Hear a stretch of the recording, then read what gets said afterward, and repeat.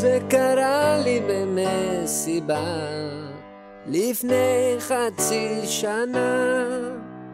היא התיישבה לי הפסנתר לתת חיים למסיבה, התחילה לנגן ולא הייתה לזה כל הצדקה, חשבה היא מנגנת אך בעצם מתקנת את הטעויות באמצע נגינה. אני מבחינתי אני מבדיל בין כל הפטיפון וכל הנוכחים אמרו שזה נשמע כל כך חייב שהיא סתם מנגנת ובעצם מתקנת את הטעויות באמצע נגינה.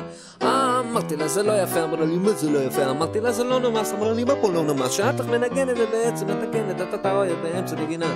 אז היא אמרה חכם אתה נראה אותך פסנתרן אתה, ואם אתה כל כך גאון אז תפנה את המקום, ואז תנגן לי וחלילה תתקן לי את הטעויות באמצע נגינה. אמרתי לה זה לא בעיה, פסנתר אצלי זה מלדה, ולנגן אני יכול ברי מילה וסי במול, ולא יהיה שום צורך לתקן לכל האורך את הטעויות באמצע נגינה.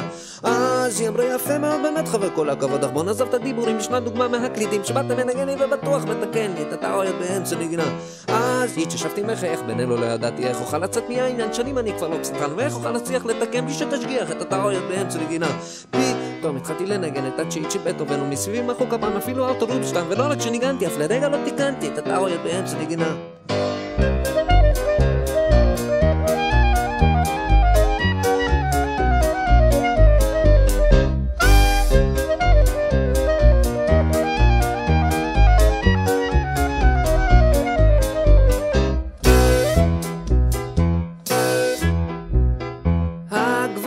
מילה, ישבה בשקט במקומה, בלי לחשוב על הכבוד פתאום הכניסה לי אגרוף.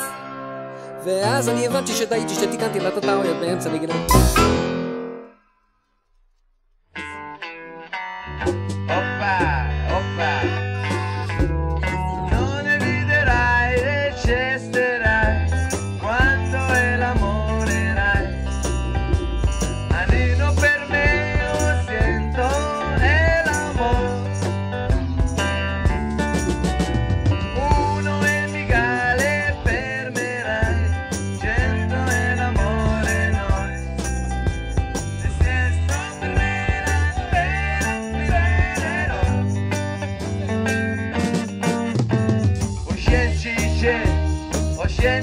Osciencice, come di che può mare per me.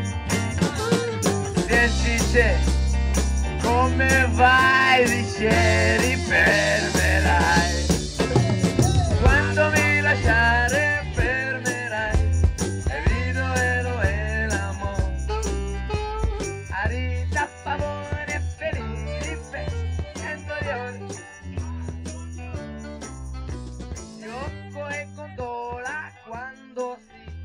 A ataxiado perdido. Spaghetti